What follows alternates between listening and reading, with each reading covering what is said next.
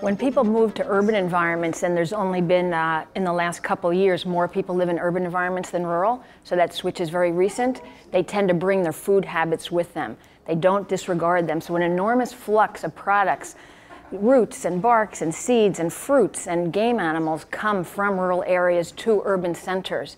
It's not just nourishing their bodies, though, it's nourishing their imaginations and souls. We have evolved with forests, and they're critical to our livelihoods. They're fun, they're recipes and festivities and cultural artifacts that all have to do with people's link to the land.